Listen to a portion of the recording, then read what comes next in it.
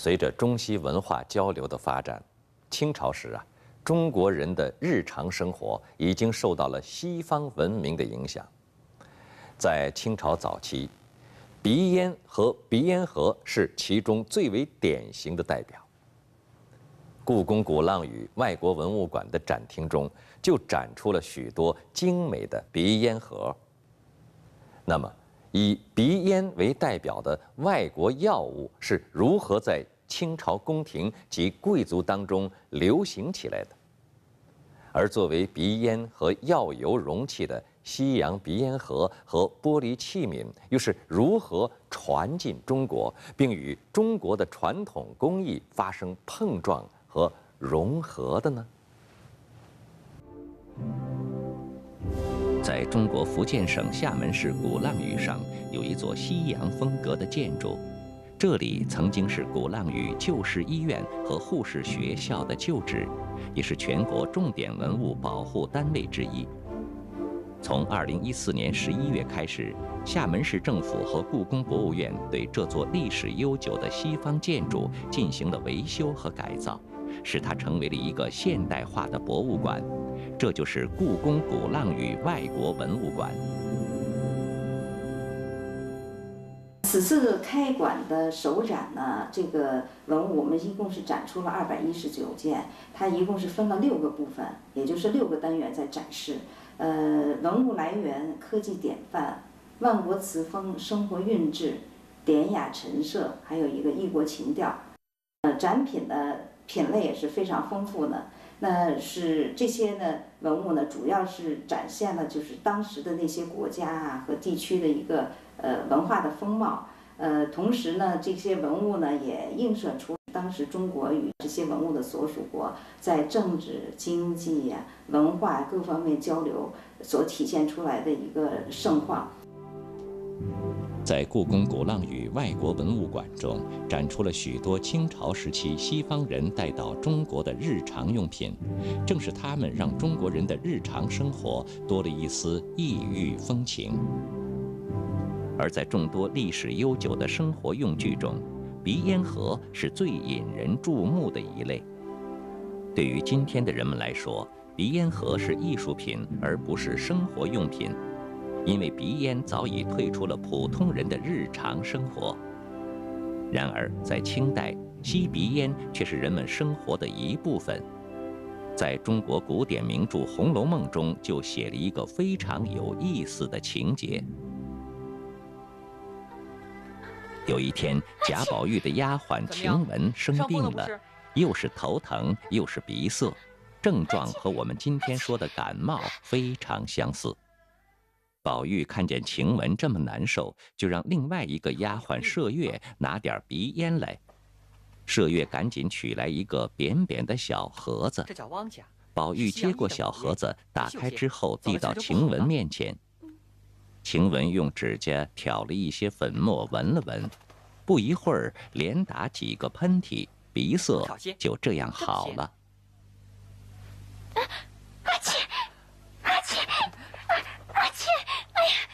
了不得，好赶快！快拿纸来，那么，鼻烟到底是什么东西？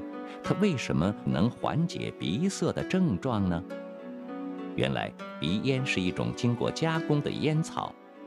据说，它最早是由意大利人利玛窦献给明朝万历皇帝的。刚传进中国的时候，鼻烟的价格非常昂贵。一方面是因为烟草的稀缺，另一方面也和它复杂的制作工艺分不开。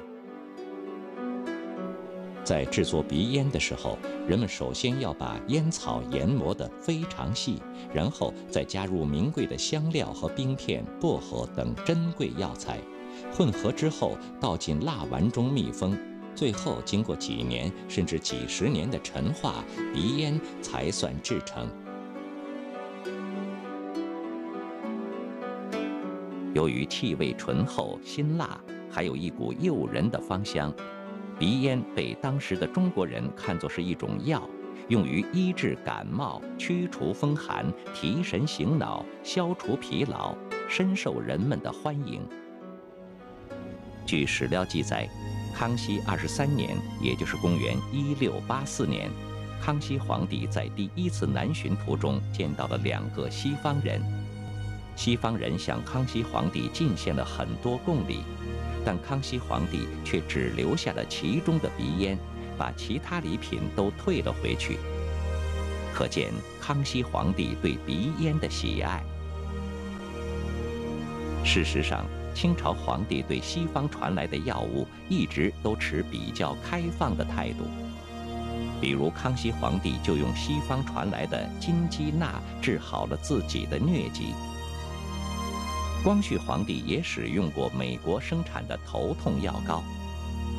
故宫鼓浪屿外国文物馆就展出了光绪皇帝使用过的药膏。馆内的闽南语讲解员为我们讲述了这副药膏的来历。欢迎来到故宫高龙书外国文物馆，我们馆有提供闽南语的讲解服务。我们来看一下这一件来自于二十世纪美国的头痛药膏，它是由袁世凯进献给光绪皇帝的，因为在光绪三十年的时候。光绪皇帝经常头疼头晕，那太医们使用了内服药、洗药，甚至连膏药都贴到了他的太阳穴上。见此情形下，袁世凯就进献了这一款头痛药膏。当年也是没有用完，现在故宫博物院存有三件，我们展示的就是其中的一件。除了药膏之外，故宫博物院里还收藏着很多外国的药油，比如用于消肿止痛的冰片油。主治胃寒通胀的丁香油和檀香油等等，在故宫鼓浪屿外国文物馆的展厅中，我们可以看到这些药油有的已经使用过，有的至今都没有拆封。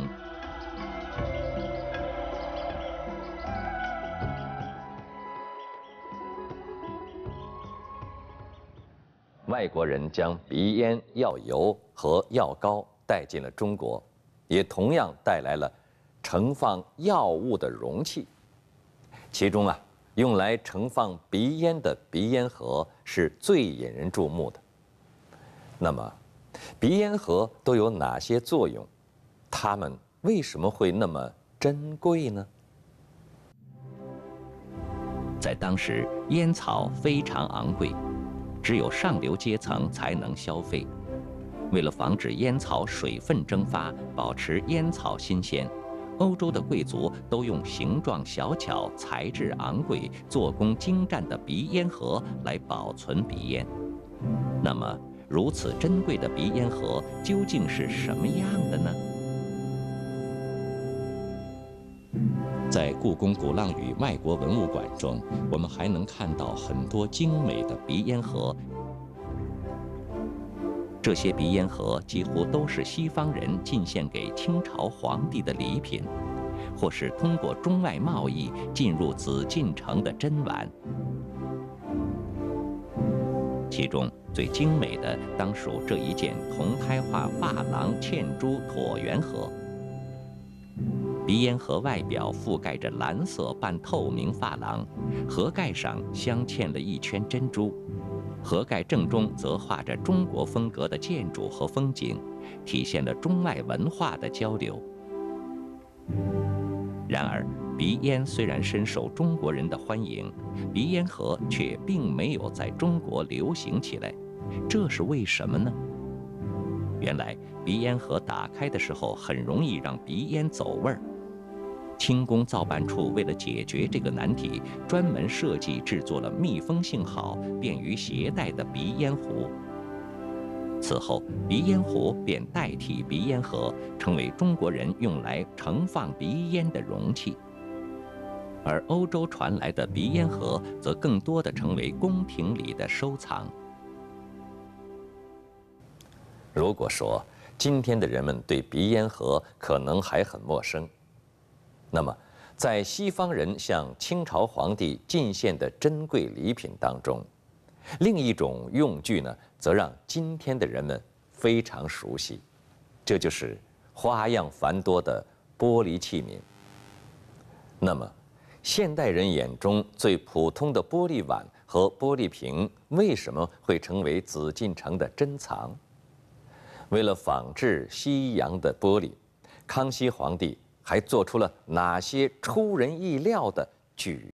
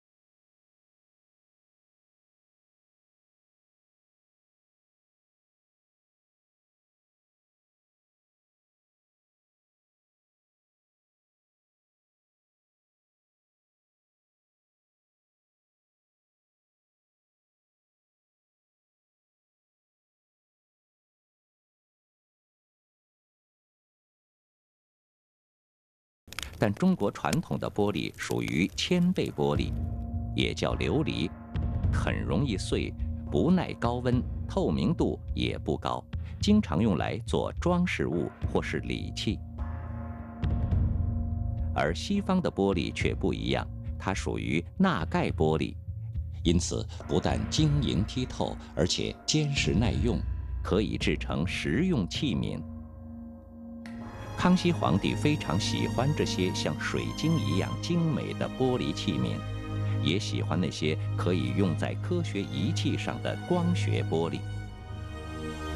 因此，他决定建一个玻璃厂，仿制西洋的玻璃。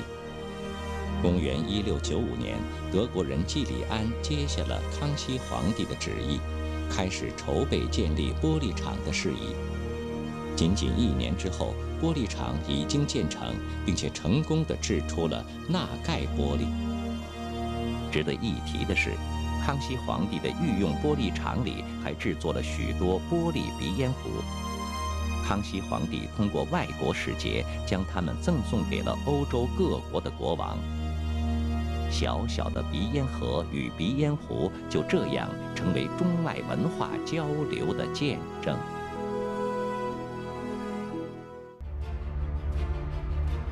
二零一七年，故宫第一家主题分馆首次展出了一批故宫珍藏的外国瓷器。那么，这些瓷器又是如何进入故宫的？中国是瓷器的故乡，外国人又是什么时候烧造出第一件瓷器的？国宝档案带您走进故宫第一家分馆，共赏外国瓷器之美。